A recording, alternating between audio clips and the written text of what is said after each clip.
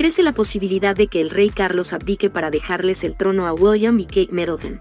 La reina Margarita de Dinamarca sorprendió a todos al revelar en su discurso de Año Nuevo que abdicaría al trono, para dejarle la corona a su controversial hijo Federico. Algunos expertos en la realeza dicen que su decisión rompe una tradición y pacto no escrito entre ciertas casas de la monarquía europea. Pero más importante, dicen que con ello, podría abrir camino a que otros sigan su ejemplo y especialmente el rey Carlos de Reino Unido, que podría dejar su título para que su hijo mayor y heredero, el príncipe William, se quede con la corona junto con su esposa Kate Middleton. El argumento de la reina Margarita era su avanzada edad y la posibilidad del deterioro de su salud, pues los expertos en la realeza dicen que para el rey Carlos la cosa va por ahí, y esperan que abdique al trono en un plazo de 5 a 10 años máximo.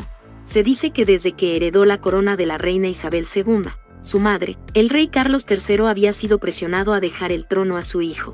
No sucedió inmediatamente, pero el plan no se fue a ningún lado, dado que su avanzada edad y baja aceptación del público es un tema que pesa.